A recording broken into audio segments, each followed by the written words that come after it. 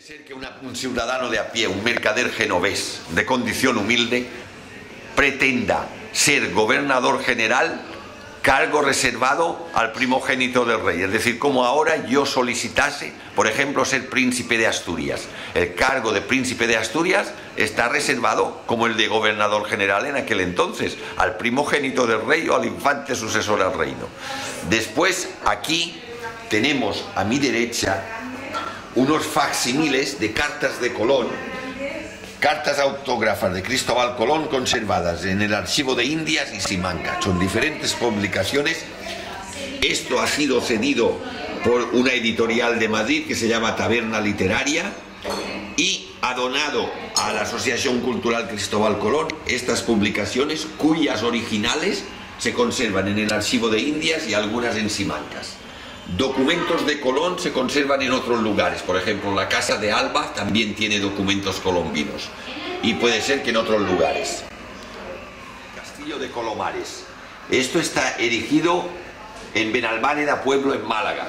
Eso es el primer monumento al Colón mallorquín, levantado eh, para la conmemoración del quinto centenario, construido por el doctor Esteban Martín con la ayuda de los artistas. Es, es una obra preciosa, por eso se llama Colón, Colón con M y Mares, por el Colón mallorquín como hijo del príncipe de Viana.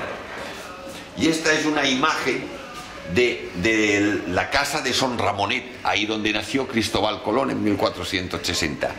De, de este lugar de Son Colón se halla a una distancia de unos 3-4 kilómetros. Es decir, también quisiera decir que aquí se llama Son Colón, el restaurante de Son Colón, puesto que esta finca fue adquirida en el año 1500 por Jaime Colón. Antes se llamaba Son Massanet y es decir, desde el año 1500 esta finca se llama Son Colón.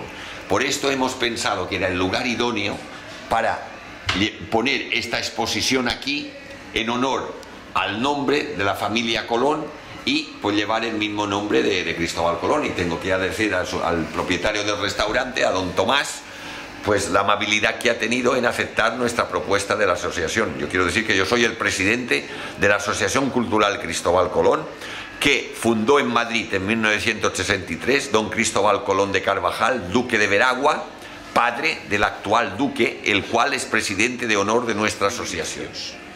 De Colón de 1498. En este libro se encuentran varios documentos firmados por los reyes católicos y en el cual está registrado su apellido Colón con M, como Porto Colón. Porque realmente hay que tener en cuenta que históricamente los apellidos de las personas no cambian. Si una persona se llama Colombo, no tiene por qué en España ser Colón, Colomo, Colom y todo eso. Si él tenía que ver algo con los países catalanes, eso es la prueba de que su apellido en algunos documentos se registra tal como era su, el apellido de la madre, su origen. Aquí tenemos en la bibliografía general de la Carta de Colón, eso es una publicación de Carlos Sanz, y nos habla que en la Biblioteca Colombina de Sevilla se halla un catálogo llamado Abecedarium, en el cual consta que allí hubo una carta de Colón a Luis de Santángel, que fue quien financió la empresa del descubrimiento como prestamista a los reyes. Quisiera decir que Luis de Santángel, el escribano de reacción de la corona de Aragón, el rey Fernando el Católico, vivió, era de origen valenciano, pero que vivió en Mallorca entre 1460 y 1476. Ahí en la isla vivía su hermano Galcerán, casada con la mallorquina graciosa Pardo, hija de Pere Pardo, un importante comerci- comerciante propietario de barcos y, re- y residente de origen mallorquín. Más próxima al descubridor.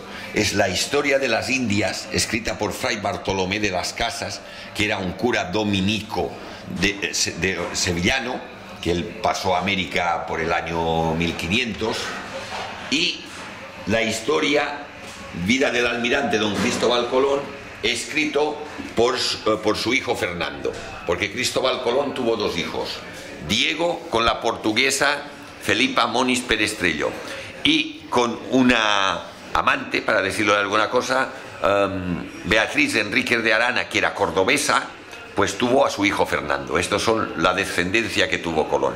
De Fernando no se casó nunca y no tuvo descendencia. Es decir, los descendientes actuales de Cristóbal Colón, como es el caso del duque de Veragua, proceden de la rama de Diego, del matrimonio con la portuguesa.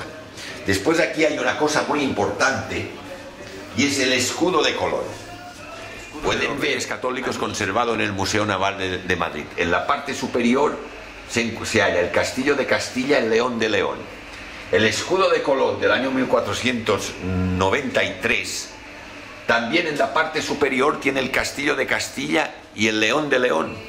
En el escudo se refleja el linaje de la persona.